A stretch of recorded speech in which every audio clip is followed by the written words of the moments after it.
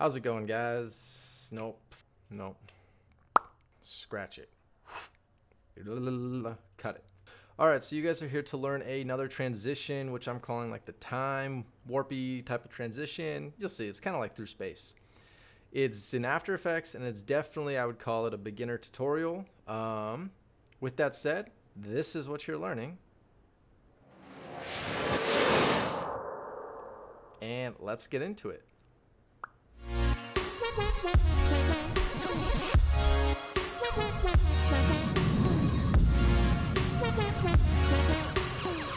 guys, so you have opened up After Effects here and you are going to take the two clips that you want so you can import them and what you're going to do is just take one of them and drag them down onto this little film icon right here and it's going to create a new composition which is then going to bring up this.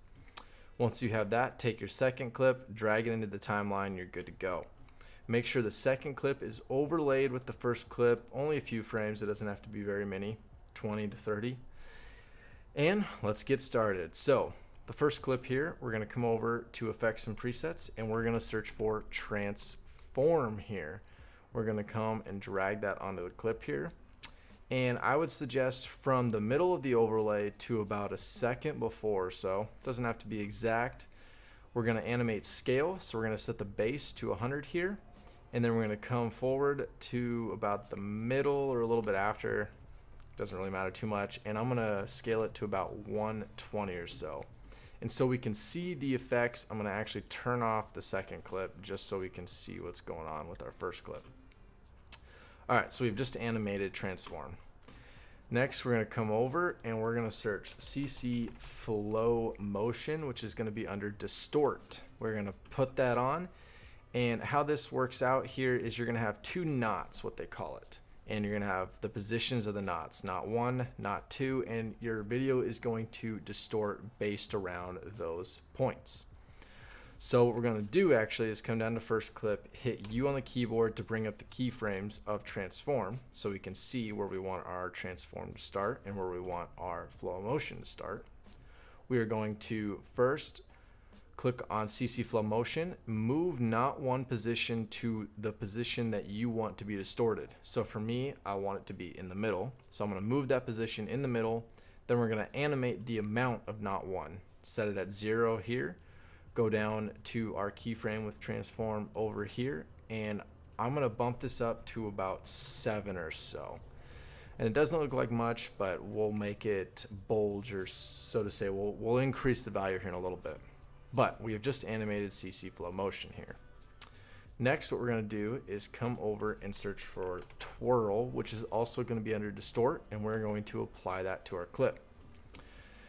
Now, come back, make sure you're on that first starting keyframe, and we're going to animate angle and twirl radius here.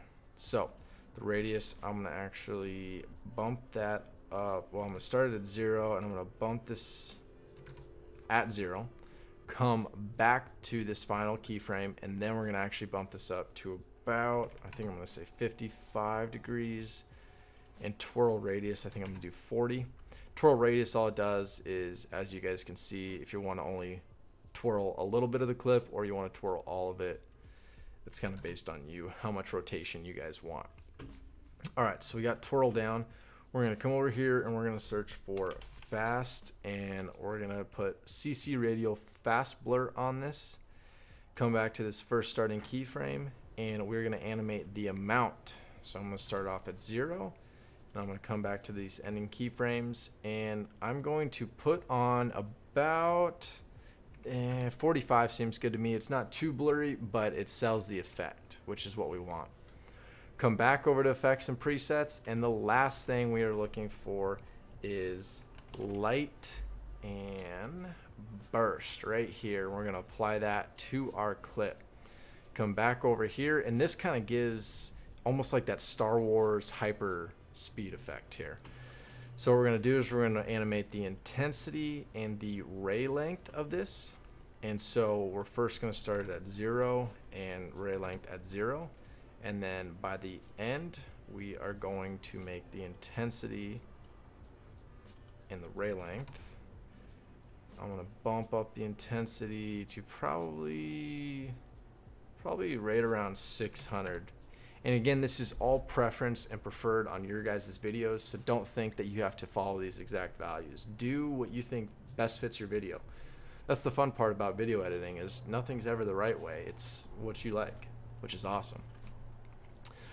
All right, so we got all of these. Let's hide all our keyframes, come down here and hit U to see all the keyframes. We're going to select all of them and we're going to hit Shift F9 to easy ease them in.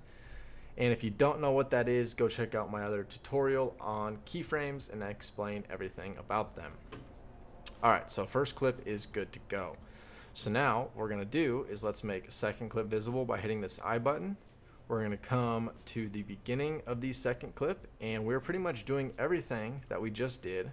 Make sure you have the second clip selected, except backwards now. So let's search for transform put it in, and now we want to start the scale at 120, and we want to come about a second out or so, and let's animate it back to 100. And then I'm going to come down a second clip, hit U so I can see my keyframe positions, come back over, and let's search for CC Flow and CC Flo Motion. We are going to move knot one position in the center, come back over We'll come back over here. We are going to animate the amount. Come back to the starting point and we are going to animate the amount to about 7 again. Alright, good to go. We're good with those two. Let's come back over and find ourselves twirl here. And if you guys know how to follow this, skip ahead of the tutorial. This is just repeating steps, so feel free to do what you like. We're going to animate the angle and all that, and I'm going to put the angle to about 55 and 40 here. Come back to right here, and we're going to go 0 and 0. Twirl is good to go. Come back over here and search for fast radial blur. Pop that on. We're going to um, animate the amount, set it at 0 at the end, and come back to the beginning of the video where we want it to be about the same. And if you noticed, as I'm doing this, that I'm matching what was the same on the first clip that it ended on. So whatever the first clip ends on, I'm using those values to start my second clip on. And it's just going to make it flow a little bit better and make it a little bit smoother so it's not so obvious that you're switching clips here. Last, we're looking for light burst. Drag that on and I'm gonna put this about 600 ray length I think 50 is good. And we're gonna come back to here. Oh, make sure I come back over here and animate this.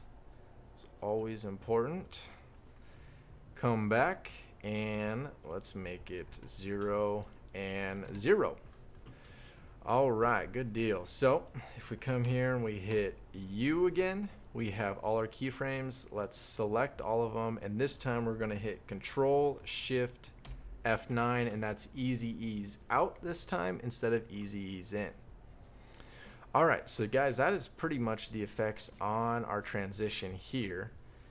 And it's going to blend relatively well, but there's still kind of a little bit of a jump based off of our two clips. So let's easily fix that by coming over here, right clicking. Let's go new adjustment layer.